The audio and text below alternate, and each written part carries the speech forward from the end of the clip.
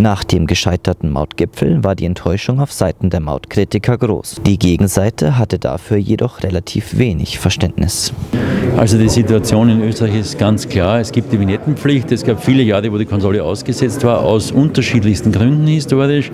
Aber seit diesem Sommer ist wirklich mehr als bekannt, dass die Vignettenpflicht ab 1. Dezember kontrolliert werden soll.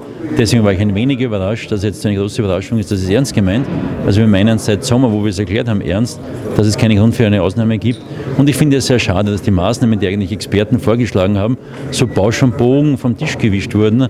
Sie hätten es verdient, dass diese Maßnahmen umgesetzt werden, probiert werden und dass man sieht, was tatsächlich passiert und wie es weitergeht. Einfach zu sagen, das wollen wir alles nicht, das ist alles nicht gut, das kommt von ASFINAG oder von Bundesseite und das ist nicht gut, ist, glaube ich, nicht der Ansatz, den diese Maßnahmen verdient haben.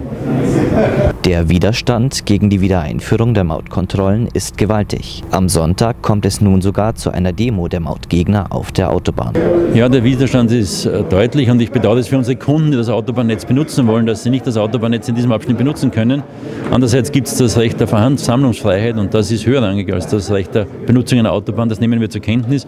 Die Behörde hat es genehmigt.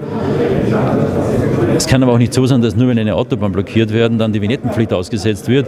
Sonst würden, glaube ich, viele Gemeinden und viele Städte die Autobahnen blockieren und dann machen wir Vignettenfrei. Also von daher gehe ich davon aus, dass diese Blockade zwar bedauerlich für die Kunden ist, aber die Situation nicht wesentlich verändern wird.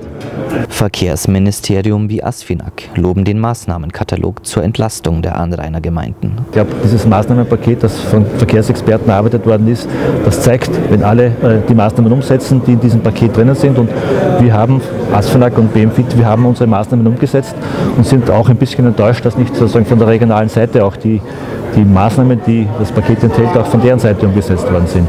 Und wir sind überzeugt, wenn man dieses Paket umsetzt, dass es hier zu keinen negativen Auswirkungen kommen werde. Wir waren immer gesprächsbereit, wir haben immer Maßnahmen auf den Tisch gelegt und haben auch Maßnahmen vorgeschlagen, die man umsetzen kann.